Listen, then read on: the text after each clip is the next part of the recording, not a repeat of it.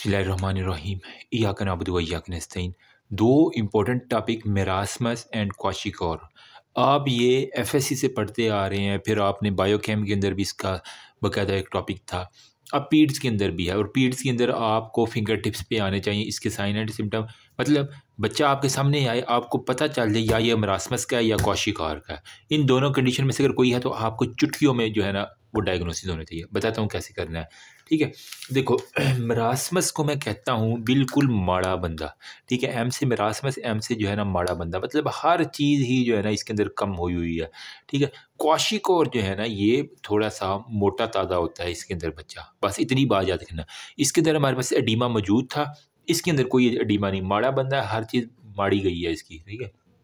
अब ये मेरासमस जो है ना, वो मोर कॉमन है देन कौशिकार चलो, मेरासमस से शुरू कर लेते हैं। ये हमारे पास कौशिकार से जो है ना, वो कह रहे हैं कि ट्वेंटी टाइम मोर कॉमन है। और ये मोस्टली जो बच्चे आते हैं, वो दो साल से भी कम ईयर के होते हैं। ठीक है? जो इससे बड़े बच्चे होते हैं, वो कौशिकार के अंदर रहते हैं, लेकिन मेरासमस बिल्कुल माड़ा है, हर चीज़ मड़ी हुई है, दो साल से कम हो गया। अब यहाँ पे हमारे पास जो इटियोलॉजी है ना, होता क्यों है ये मरासमस? सबसे पहले है डाइट्री डेफिशिएंसी, जिस तरह अभी जो गज़ा के अंदर जंगें चल रही हैं। तो डाइट्री डेफिशिएंसी बहुत ज़्यादा है तो वहाँ पे जो बच्चे पैदा हो रही हैं, वो मुरासबस का शिकार होंगे। अल्लाह माफ़ करे, लेकिन ये मैं डाइट्री डेफिशिएंसी और साथ में रिस्ट्रिक्टेड फ़ूड इनटेक खाने को हमारे पास जो है ना, वो कुछ है ही नहीं तो फ़ूड इनटेक जो है ना, वो रिस्ट्रिक्टेड हो गया तो ये हमारे पास आ जाए फिर अगर, क्योंकि ये मोस्टली है गरीबों की बीमारी, ठीक है? तो यहाँ पे क्या है ना कि अगर एक घर में एक किलो दूध आ रहा है तो वो माँ क्या करती है, फिर सारे बच्चों को इक्वल जो देना है ना ओवर डाइल्यूटेड मिल्क जो है ना, वो हमारे पास है। ठीक है? मतलब खालस दूध की बजाय पानी वाला दूध जिसे हम कहते हैं ओवर डाइल्यूटेड मिल्क जो है ना, वो हमारे पास जा रहा है बच्चे को। वजह क्या है? इग्नोरेंस की वजह से या तो दूध वाले ने ये काम ख़राब किया हुआ या फिर हमारे पास पॉवर्टी बहुत ज़्यादा है। नंबर थर्ड भी हमारे पास होता है अर्ली इन्फेक्शन हो गया। उसने इम्यूनाइजेशन नहीं करवाई और बच्चों को इन्फेक्शन हो गया। तो वो उसके अंदर जो भी खाएगा, अगर खाएगा भी तो वो लगेगा नहीं उसको सही। अच्छा अब क्लिनिकल फाइंडिंग आपने किस तरह शुरू करनी है? इसकी जब आपके पास बच्चा आ जाए, आपने स्टार्ट करना है उसकी हेड से टो तक, ठीक है? तो यहाँ पे हम क्लिनिकल फाइंडिंग करते हैं। आपने सबसे पहले उसके सर से शुरू हो जाना है। मैं आपको एक डायग्राम दिखाता हूँ। ये वाली पिक्चर देख लो थोड़ी सी ठीक है? इसको अगर मैं थोड़ा सा जूम करूँ तो ये पिक्चर इसको दिमाग में, सार बड़ा है, बाल इसके ठीक हैं, लेकिन इसकी पसलियाँ निकली हुई हैं। मसल वेस्टिंग देख लो, हर जगह से वेस्टिंग वेस्टिंग वेस्टिंग वेस्टिंग है, ठीक है? अब ये देख लो कौशिकार का ये वाला बेबी अपने दिमाग में रख लो, ये वाला। दोनों को आप कंपेयर करके देखो, इसके अंदर ये मोटा ताज़ा बेबी है, इसके अंदर ये पतला सूखा बेबी है। हेड इसका अब नॉर्मल बॉडी से बड़ा है। अब यहाँ पे देखो, इसके बाल देखो किस तरह जो है ना झाड़ियों की तरह उड़े हुए ऐसे हैं, लेकिन इसके ऐसे उड़े हुए नहीं है, बालों के ऊपर ऐसा कुछ भी नहीं है, ठीक है? यहाँ पे देखो मोटा है, इसके पाँव देखो अडीमा है, यहाँ पे बिल्कुल सूखे सूखे पाँव है तो मेरिसमस का ये माड़ा बंदा ये और ये कौशिकार वाला अब इसको अगर दिमाग में रख लो ना आप, इसका बेशक अभी यहाँ से स्क्रीन ले लो या बुक के अंदर से देख लो तो आपको बहुत सी चीज़ें क्लियर हो जाएँगी। तो हमने जब मेरासमस वाले अब बच्चे की हमने करनी है इस बच्चे की क्लिनिकल फाइंडिंग तो साथ साथ देखो नॉर्मल स्किन और हेयर हेयर और स्किन जो है ना, वो उसके हमारे पास जो है ना, वो नॉर्मल होंगे स्किन भी नॉर्मल है और बिल्कुल हेयर भी उसके जो है ना, वो ऑलमोस्ट नॉर्मल ही है। ठीक है? बच्चा देखो, उसे बुलाओगे, वो अलर्ट होगा। अलर्ट होगा और हमारे पास उसको भूख ज़्यादा लगी होगी, अच्छी भूख लगती है। ठीक है? क्योंकि उसके बाद खाने को कुछ भी नहीं है तो बेचारे को भूख भी अच्छी लगे, जो चीज़ दोगे खा लेगा। तो गुड एपेटाइट देखो, अभी भी देख रहा है किसी खाने वाली चीज़ की तरफ़। तो गुड एपेटाइट जो है ना, वो हमारे पास इसकी होगी। फिर no buccal pad of fat, ठीक है? देखो, ये लग रहा है बिल्कुल बूढ़ा हुआ है। ये अगर आपने बंदर देखा हो ना, वो नचाने वाले जब आते हैं तो उसके देखा होगा उसके बंदर की बिल्कुल बाचियाँ निकली होती हैं जिसे हम कहते हैं मुँह के हड्डियाँ निकली हुई हैं। पंजाबी में बता रहा हूँ, ठीक है? तो इसमें यही है हमारे पास कि हमारे पास नो बक्कल फैट, ठीक है? तो इस बंदे को हम क्या करें? माड़ा बंदा है, माड़ा बंदा गरीब होता है, ठीक है? यूँ कहने कि लिटल ओल्ड मैन, बेचारा बूढ़ा आदमी, या फिर जो माड़ा बंदा तो वो फिर बंदर नचाने लग जाता है ना तो इसको हम कहते हैं मंकी फेस इसका है। ठीक है, जिस तरह मंकी का फेस तो मैंने यूँ याद मंकी फेस या लिटल ओल्ड मैन, ये एक आई थिंक ये बड़ा इंपॉर्टेंट है पीड्स के एफ़ सी पी एस के अंदर आ रहा होता है ये क्वेश्चन लिटल ओल्ड फेस या मंकी फेस जो है ना, वो हमारे पास मरीसमस में, माड़े बंदे में तो एम से मंकी एम से माड़ा बंदा एम से मरीसमस मैंने याद किया हुआ ठीक है फिर हमारे पास यहाँ कह रहे कि जो है ना प्रोट्रूब प्रोट्रूडेंट जो है ना वो अपडोमन हल्का सा जो है ना वो अपडोमन इसका प्रोट्रूडेड है। ठीक है तो प्रोट्रूडेड ट्रूबरेंट अपडोमन जो है ना वो इसका हमारे पास आ जाएगा। फिर मसल वेस्टिंग और लॉस ऑफ़ सब कुटेनियस फैट कहीं पे आपको इसकी थाई के ऊपर कहीं इसके बटक के ऊपर किसी जगह पे इसको मस, आ, कोई नज़र आ रहा है? मसल ठीक है तो मसल वेस्टिंग सबसे ज़्यादा इसके अंदर हो रही है। माड़ा बंदा है तो हर चीज़ मड़ी गई है इसकी और साथ में फ़ैट जो है ना वो हमारे पास इसका लॉस हो चुके फिर टेंडन जब इसका जनरल फ़िज़िकल एग्जामिनेशन या इसके बाद आप दूसरी जो C N S C V S examination करोगे ना तो सी एन एस एग्जामिनेशन के ऊपर आपको जो है ना इसके टेंडर रिफ्लेक्स बिल्कुल एबसेंट मिलेंगे। ठीक है? डिमानिश टेंडर रिफ्लेक्स सारे के सारे ला, क्योंकि वो भूख की हर वक्त उसे तलब है तो वो क्या करेगा बेचारा? ठीक है, उसको टेंडर रिफ्लेक्स किधर से, जब एनर्जी नहीं है प्लांटर रिफ्लेक्स जब उसके पाँव के ऊपर आप वो रिफ्लेक्स करेंगे चाबी के ज़रिए तो वो भी हमारे पास बिल्कुल एबसेंट होंगे। फिर हमारे पास क्या है, इसकी देखो ग्रोथ रिटार्डेशन के ऊपर एक एम सी क्यूज आता है। तो जो इसकी ग्रोथ रिटार्डेशन है ना, वो हमारे पास बहुत ज़्यादा होगी, और उसका परसेंटेज कितना है less than sixty percent of the expected weight मतलब जो नॉर्मल बच्चे हैं, उनसे भी साठ परसेंट हाफ़ से भी ज़्यादा फिफ्टी परसेंट से ज़्यादा है, ठीक है? सिक्सटी परसेंट से भी ज़्यादा हमारे पास जो है ना, वो हमारे पास एक्सपेक्टेड वेट से वो उसका ग्रोथ रिटार्डेशन होगी हमारे पास इसकी होगी नो अडीमा अडीमा उडूमा कोई नहीं है, कहीं भी आपको सोजिश सूजिश नहीं नज़र आ रही, पानी शानी ठीक है? और अगर इस बंदे को जो है ना कम्प्लिकेशन कब होती है? जब इसको टीबी हो जाए या मीज़ल हो जाए तो ये इसकी लाइफ थ्रेटनिंग कंडीशन है। मतलब ये फिर बचना इसके लिए मुश्किल हो जाता है। ये कम्प्लिकेटेड कर देते हैं मेरी समझ के केस को। ईजी हो गया। अब प्रिवेंशन कैसे करनी है? जनाब, मेरिसमस का केस आ गया। आपने डायग्नोज किया, उसका मंकी लिटल मंकी फेस वो ओल्ड मैन वाला फेस है। तो यहाँ पे चलो प्रिवेंशन लगे हाथ कर लें। आपने सबसे पहले एक अच्छे डॉक्टर जो है आपको दवाएँ देंगे। ये बच्चा भी और उसके पेरेंट्स भी। आपने इसको अर्ली डायग्नोस और अर्ली ट्रीट करना है, इसकी माल न्यूट्रिशन जितनी भी हमने देखी है। ठीक है? फिर प्रमोट करना है breast feeding up to two years तक। माँ को कहना है, तुमने दो साल तक इसको दूध पिलाना और उस दौरान मेहरबानी करना, कोई बच्चा पैदा ना कर लेना। ठीक है अमूमन होता यही है कि एक बच्चा पैदा हुआ, दूसरा दूसरे को दूध पिलाना शुरू कर दिया, ये बेचारा इग्नोर हो गया। इसको काउ मिल्क वो भी डायल्यूटेड के ऊपर लगा दिया। ठीक है तो अब ये माँ है बेचारी, वो भैंस थोड़ी है जो दस दस किलो दूध, जितना बेचारी ने बनाना, उतना ही बनाएगी। फिर हमारे पास क्या है? Avoid artificial feed till four उसे कहना है कि चार से छः माह तक जो इसको दूध पिला रही हो ना आर्टिफिशियल कोई डब्बे का या इस तरह का ना पिलाना, मेहरबानी करना। फिर हमारे पास है इम्यूनाइजेशन जो है ना, इसकी जो है ना वो वैक्सीनेशन आदमी कराओ ताकि ये मीज़ल और टीबी वगैरह इससे जो है ना वो बच सके। तो वैक्सीनेशन को आपने प्रमोट करना है। ठीक है? अब हमारे पास ये हो गया मेरासमस के लिए। अब नेक्स्ट हमारे पास है कौशिकोर को। पहले ये देख लेते हैं, उसके बाद जो है ना हम इसका टेबल जो है ना वो देखते हैं। ठीक है? यहाँ पे हमारे पास नंबर सेकंड पे आ जाए कौशिक और पहले इसकी जनरल सी चीज़ें देख लेते फिर एंड में हम टेबल बनाएँगे ताकि हमारे लिए इजी हो जाए। इधर आ जाओ। अच्छा कौशिकोर में क्या है बेसिकली कि ये छोटे बच्चों में होता था लेस देन टू ईयर में, लेकिन ये कौशिक और जो अब एक से पाँच साल का अमूमन जो है ना one to five year of the child हमारे पास बच्चा आ जाया करता है। ठीक है?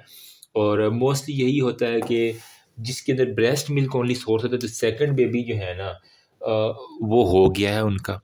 तो इसके अंदर बेसिकली क्या है इसके अंदर था प्रोटीन फैट और जितनी भी बाकी सारी चीज़ें उसकी माल न्यूट्रिशन थी। इसके अंदर सिर्फ़ और सिर्फ़ काशी कौर में ना काशी लड़का एक उसको जो है ना वो प्रोटीन की डेफिशिएंसी है सिर्फ़। सिर्फ़ और सिर्फ़ वो जो प्रोटीन है ना दूध की जो आ वो उसके अंदर कमी होती है। तो ये क्लिनिकल फाइंडिंग क्या है अब आप इसी डायग्राम को देख लो। ये वाले, दूसरे वाले बच्चे की। इसके अंदर आपको क्या क्या दिख रहा है? साइको मोटर चेंजेस देखो, रो रहा है इरिटेबल्स है।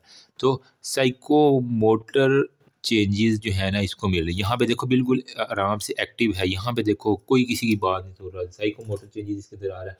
इरिटेबिलिटी बहुत ज़्यादा बाल देखो, इसके किस तरह उड़े हुए हैं। तो हेयर चेंजेस इसके अंदर हो गए। तो हेयर चेंजेस के ऊपर आपको एम आ जाता है। तो फिर आपने कौशिक और को टिक करना होता है। ठीक है? मतलब काशी है, उसके बाल जो है ना, वो काशी नामी कोई लड़का है, उसके बाल जो है ना, वो उड़े हुए हैं, ठीक है? फिर हमारे पास क्या आ जाता है? आल न्यूट्रिएंट में be deficient but protein always deficient ठीक है? बाकी न्यूट्रिएंट हो सकता है कमी हो लेकिन प्रोटीन जो है ना, वो हम हर सूरत जो है ना, इसके अंदर डेफिशिएंसी होगी इसकी। फिर एडीमा जब प्रोटीन निकलेगी तो हमारे पास जो ऑनकोटिक प्रेशर है वैसल के अंदर वो नहीं रहेगा तो हमारे पास पानी सारा बाहर आ जाएगा तो हमारे पास एडीमिया एडीमा हो जाएगा, ठीक है? फिर हमारे पास क्या होगा? ग्रोथ फेलियर जो है ना, वो हमारे पास होगी। लेकिन वो माएँ कहती नहीं, हमारा बच्चा तो मोटा ताज़ा, वो एडीमा की वजह से जो है ना ग्रोथ फेलियर को इग्नोर कर देते हैं। लेकिन एक्चुअल में उसको ग्रोथ फेलियर बहुत ज़्यादा होती है। वीक और वेस्टेड चाइल्ड होता है, ठीक है? लेकिन उसके अंदर फैट मौजूद है, ठीक है? क्योंकि वो बाकी चीज़ें उसकी पूरी हैं आलमोस्ट लेकिन सिर्फ़ क्या कमी है? प्रोटीन की कमी है। तो वो यहाँ पर आ जाएगा। फिर हमारे पास एनीमिया इस बच्चे को बड़ा कॉमन है, ठीक है? फ्लैंकी पेंट अच्छा डर्माटाइटस स्किन के ऊपर जो है प्रोटीन की कमी की वजह से डर्माटाइटस और वो सारे की सारी अल्सर होगा, ठीक है? और उसके अलावा हमारे पास ओपन सोर्स होंगे, ठीक है? और वाइटामिन डेफिशिएंसी के साइन आपको बड़े प्रोमिनेंट जो है ना वो मिल जाएँगे, ठीक है? इसके साथ हमारे पास क्या होगा? Enlarged liver due to fatty infiltration अब सारा काम उसका प्रोटीन की जगह फैट पे शिफ्ट हो गया तो इनलार्जमेंट ऑफ़ द लीवर हो जाएगा फैटी लीवर की फॉर्म के अंदर। फिर उसको जो स्टूल आएँगे, वो हमारे पास बड़े लूज स्टूल होंगे और वो हो सकता है कि लैक्टेज इन डेफिशिएंसी भी एक बड़ी वजह है कि इस लूज स्टूल आने की। तो ये हमारे पास कुछ इसके अंदर देख रहे हैं, ठीक है? अब बायोकेमिकली जब आप चेंजेस देखेंगे लैब के ऊपर तो आपको क्या क्या मिल जाएगा? एक तो मैंने कहा कि जो हाइपोप्रोटीनीमिया ठीक है प्रोटीन की डेफिशिएंसी इसको हम कहते हैं हाइपो प्रोटीनीमिया प्रोटीन डेफिशिएंसी को होगी। फिर जब सारे का सारा फैट के अंदर चेंज हो रही है एनर्जी के लिए तो कीटोन बॉडी फॉर्मेशन होगी। तो वो यूरन में आएगा तो कीटोन ही यूरिया हो जाएगा, due to starvation ketone in the urine आएगा। फिर ग्लूकोज टॉलरेंस जो है ना, कर्ब, वो जस्ट लाइक कह रहा है कि जिस तरह डायबिटिक पेशेंट की होती है ना, उसी तरह की आपको कहीं ना कहीं मिलेगी। ठीक है अमाइनो एसिड और यूरिया हो जाएगा अमाइनो एसिड जो है वो टूट फूट के शिकार होके जो है ना वो यूरन के अंदर आ रहे होंगे। फिर कोलेस्ट्रॉल लेवल इसका ऐसा ऐसा डिक्रीज़ होना शुरू हो जाएगा क्योंकि सारी की सारी कोलेस्ट्रॉल एनर्जी दे रहा है। ठीक है, वो फैट से। फिर हमारे पास कह रहा है कि इंजाइम जो है ना वो डेफिशिएंसी हो जाएगी। ठीक है तो इंजाइम डेफिशिएंसी होगी विटामिन के डेफिशिएंसी होगी, लेकिन इसके अंदर ग्रोथ हार्मोन बिल्कुल नॉर्मल होता है। ये एक इम्पोर्टेंट बात है कि यहाँ पे हमने क्या क्या दिखा? एक तो ग्लूकोज कम है अमाइनो एसिड कम है, ठीक है, और इंजाइम की कमी है, ठीक है, प्रोटीन की कमी है, ठीक है, और विटामिन के की कमी है बहुत ज़्यादा, लेकिन इसके अंदर ग्रोथ हार्मोन, ये बिल्कुल नॉर्मल होगा। तो ये एक एम सी क्यूज है कि ग्रोथ हार्मोन को क्या होगा तो ये हमारे पास नॉर्मल होगा। काशी का ग्रोथ हार्मोन बिल्कुल नॉर्मल है। ठीक हो गया। अब मैनेजमेंट क्या करनी है? बहुत मेडिकल और सोशल प्रॉब्लम जो है ना उनको हमने देखना है सबसे पहले। आया कि उसको कोई इन्फेक्शन तो नहीं चल रहा ठीक है? या कोई सोशल क्या है कि क्या वो दो तीन बच्चे तो नहीं है एक, एक दफ़ा पे पाल रहे। तो देर इज़ मेडिकल इशू ये चांस होता है कि वो दोबारा दोबारा हो जाए तो फिर हमारे पास जो है ना वो डिवेल्प होता है। अच्छा फेजेस ऑफ़ मैनेजमेंट क्या है? अगर बच्चा आपके पास आ गया है तो आप डॉक्टर साहब बैठे हुए हैं तो ये ख़तरनाक भी है और इसके अंदर फेजेस जो है ना वो हम इसको डिवाइड कर लेते हैं कि तीन मेजर फेजेस होते हैं। ठीक है? तो यहाँ पे हम लिखते हैं इसके यहाँ पे फेजेस ऑफ़ मैनेजमेंट इसको मैं बिठा रहा हूँ, ठीक है, ताकि हमें यहाँ पे लिखा हुआ है। फेजेज़ में हमारे पास तीन मेजर फेजेज़ आपको फिंगर टिप्स में आने चाहिए नंबर वन पे जो ही बच्चा आ जाता है उसको एमरजेंसी के ऊपर जो है ना, वो ट्रीट करना होता है। तो एमरजेंसी ट्रीटमेंट ठीक है? ये जिसको हम कहते हैं इनिशियल ट्रीटमेंट हमने जो आते ही साथ जो ट्रीटमेंट देनी है, वो कौन सी है? नंबर सेकंड पे उसको रिहेबिलिएशन करनी है। रिहैब करना है मतलब अगर वो नॉर्मल हो रहा है, खा पी ठीक रहा है तो फिर आपने उसको क्या करना है? डिस्चार्ज रिहेबिलिएशन और डिस्चार्ज करना है। और नंबर थर्ड पे से कहना माँ को कहना तुमने इसको चेक करवाते रहना बार बार खुराक यही रखनी है और फॉलो आपके ऊपर लाजमी रखना है। ठीक है? एमरजेंसी में आप क्या करते हैं? जो ही बच्चा आया, आपने कहना, लाओ भी इसको एडमिट कर लो पेशेंट ठीक है? एडमिट करें इसको सबसे पहले।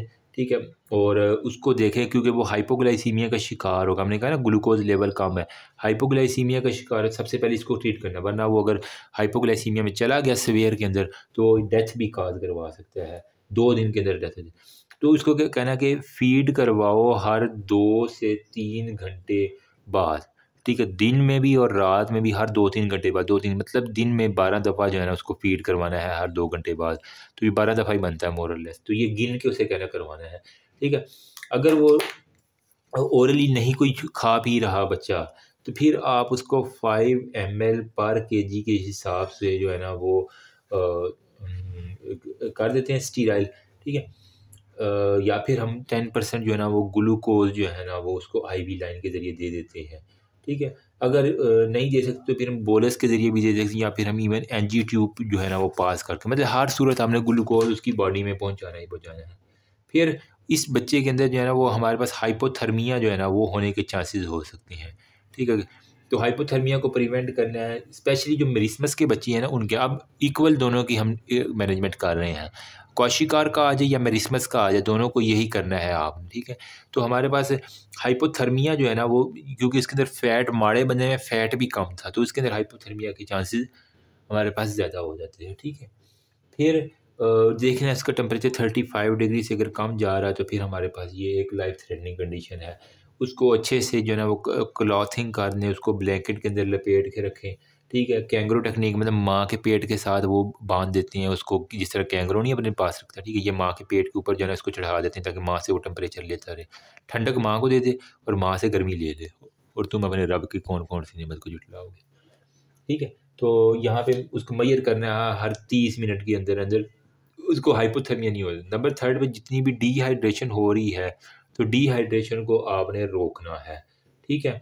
और जो उसके इलेक्ट्रोलाइट इम्बेलेंस है, उसको मतलब जनरल मैनेजमेंट जो आप करते हैं आप एमरजेंसी के अंदर, वही देनी है, ठीक है? इसके अंदर आप रिंगर लैक्टेट जो है ना, वो आप इसके अंदर दे सकते हैं जो हाइपोग्लाइसीमिया के अंदर भी अच्छा होता है।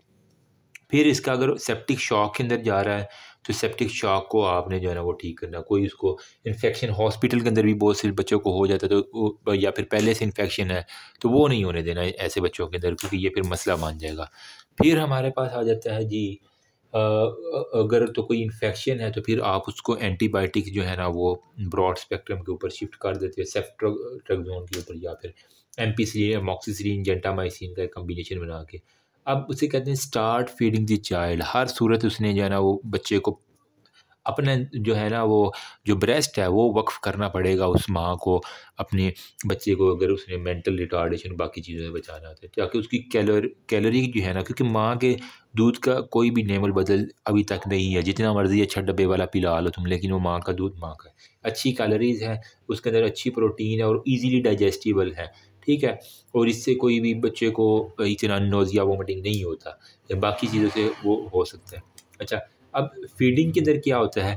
पहले तीन से चार डेज़ के अंदर जो है ना वो उसने ninety two one fifty M per K G skimmed milk जो है ना वो आ, अगर माँ का दूध नहीं पर हो रहा ठीक है? तो फिर आप इसके अंदर जो है ना वो स्किम्ड मिल्क जो है ना वो आप बलाई वाला जो है तीन से चार दिन के अंदर इस लिहाज से फिर अगले जो तीन से चार दिन है उसके अंदर आप एक सॉलिड जो है ना वो पर डे के हिसाब से कोई केला शेला ऐड कर दिया। फिर अगले जो तीन से चार दिन है कि एक और सॉलिड एक केला हो गया, साथ में कोई चूरी चूरी ऐड कर, दो सॉलिड फ़ूड ऐड करनी है। फिर ट्वेंटी डेज़ के ऊपर जब इस तरह खाना पीना शुरू कर देगा तो फिर आपने तीन सॉलिड फैट जो है ना, वो आपने ऐड कर देनी है। मतलब तीन खुराकें सॉलिड जो है ना, वो एक दिन के अंदर उसको देनी होती है। तो ये एक हमारे पास है। फिर नंबर सेकंड में हमने कहा रिहेबिलिएशन जो है ना, वो उसकी करनी ज़रूरी है। जहाँ पे अब एमरजेंसी ट्रीट हो गया। रिहैब किस तरह करेंगे? ये हमारे पास थोड़ा सा है। रिहेबिलिएशन में क्या है? स्टार्ट देखो कि क्या बच्चे को भूख लग रही है, ठीक है? तो बगैर अंजी के वो खा पी रहा है, अगर तो वो ईट वेल कर रहा है अच्छा खा पी रहा है तो मतलब रिहेबिलिएशन हो रही है। मेंटल स्टेटस उसका इम्प्रूव हो रहा है, उसको करे तो वो हंसना शुरू कर दे स्माइल अपनी पास करे रिस्पॉन्स दे, ठीक है? मामा, दादा दादी करे तो फिर। या फिर वो सिट कर रहा है इजीली बैठ रहा है क्रॉल अगर क्रॉलिंग कर रहा है, या फिर खड़ा हो रहा है, या पकड़ के चल रहा है चीज़ों को तो वो चलना शुरू कर दे तो मतलब बच्चा इंप्रूव हो गया। टेम्परेचर उसका देख लो कि हाइपोथर्मिया में नहीं जा रहा नॉर्मल टेम्परेचर है, कपड़े शपड़े अच्छे पहनने के ऊपर, ठीक है? उसको कोई डायरिया को कोई वॉमिटिंग वगैरह का साइन नहीं है एडीमा वगैरह नहीं है, और वेट गेन देख लेना डेली आपने कि पाँच ग्राम पर बॉडी वेट के हिसाब से अगर वो तीन दिन के अंदर जो है ना gaining weight greater than five K G of the body ठीक है? तो अगर वो फाइव के जी के हिसाब से अपना वेट इंक्रीज़ कर रहा है ना पर डे में फॉर थ्री कंजक्टिव डेज़। ठीक है, तीन दिनों में उसने अगर इतना वेट गेन कर लिया तो मतलब बच्चा अब ठीक आगे इम्प्रूव कर जाएगा। आई थिंक ये पाँच एक्चुअली ये जो फीडिंग इतनी ज़्यादा हुई है तो उसके होता है। देखो, अगर तो बच्चा ट्वेंटी फोर मंथ से कम है, यार किधर क्या जगह कम होगी मेरे पास। ठीक है, अगर तो आपका बेबी हमारे पास ट्वेंटी फोर मंथ बारह दूना चौबीस मतलब दो साल से छोटा है ठीक है? तो उसको लिक्विड और सेमी सॉलिड फ़ूड ज़्यादा देनी है। लेकिन अगर वो दो साल से बड़ा है या चौबीस मंथ से बड़ा है तो उसको फिर सॉलिड फ़ूड के ऊपर आपने शिफ्ट करना है। सप्लीमेंट्री में बाकी आप इसके अंदर फोलिक एसिड जो है, वो दे सकते हैं। आयरन जो है ना, वो दे सकते हैं ताकि उसको एनीमिया वगैरह ना हो। फिर साथ में आप इसके वेट को डेली बेसिस पे मैयर करना है। एडुकेट वेट गेन हो रहा है। Greater than five K G of the body weight in three days तीन दिनों के अंदर पाँच के जी से ज़्यादा अगर वो वेट कर गया है, दो साल से बड़ा बच्चा तो मतलब ठीक है। क्योंकि इनके अंदर सवेयर वेट लॉस होता है तो वो पाँच के जी तक नॉर्मल है। फिर उसको डिस्चार्ज तभी करना है, अगर उसकी वैक्सीनेशन प्रोग्राम स्टार्ट हो गई है, माँ विलिंग है कि वो उसको अच्छे से खिलाई पिलाएगी, ठीक है, और ट्रीटमेंट अगर वो इन्फेक्शन के ख़िलाफ़ कोई भी नहीं है, और फॉलो आपको वो कि हाँ मैं इंश्योर करती हूँ। तो फॉलो अप प्लान फिर आपने उसको क्या देना है? उसे कहना है पहले एक हफ़्ते बाद वन वीक के बाद, जब वो चेक करवा लेगी, फिर उसके कहना, तुम अब दो हफ़्ते बाद आओ। जब दो हफ़्ते बाद आ जाएगी, उसके कहना, अब तुम एक माह बाद आओ। ठीक है? फिर उसे कहना है कि, तुम तीन माह बाद बच्चे को दोबारा चेक करवाने आओ। फिर उसे कहना है, जब तीन माह पे आएगी तो उसके कहना छः माह बाद दोबारा चेक करवाने का फिर उसे कहना जब तक बच्चा तीन साल का नहीं हो जाता, तुमने हर साल दो मरतबा बच्चे को जो है ना, वो टू टाइम्स पर ईयर जो है ना, वो चेक करवाना जब तक वो तीन साल का नहीं हो जाता। इस दौरान होपफुली बच्चे जो है ना, वो कर जाते हैं। ठीक है? रिहेबलीशन में जो है ना, वो कह रहा है हमारे पास। वो हम वेट गेन के हिसाब से जो है ना, वो मोनीटर करते हैं, ठीक है?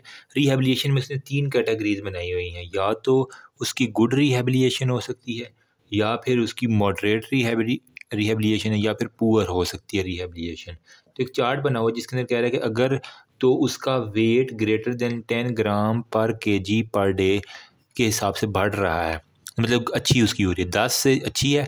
अगर पाँच ग्राम, पाँच से दस ग्राम तक अगर जा रहा है, ठीक है? अगर ग्रेटर देन टेन है तो फिर गुड है।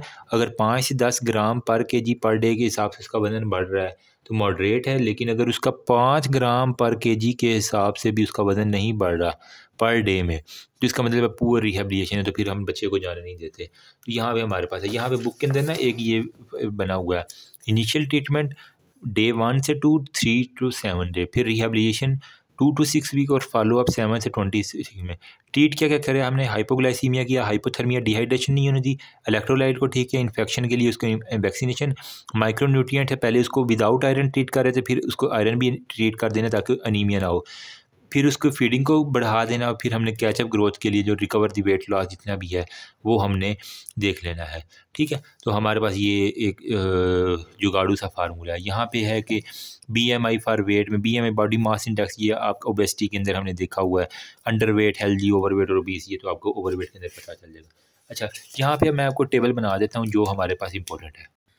अगर किसी ने इसका स्क्रीन शॉट लेना है तो शायद किसी की हेल्प हो जाए। ये मैंने जल्दी से बना दिया, लेकिन फिर भी अच्छा ही बन गया है कुछ ना कुछ गुजारा कर ही जाएगा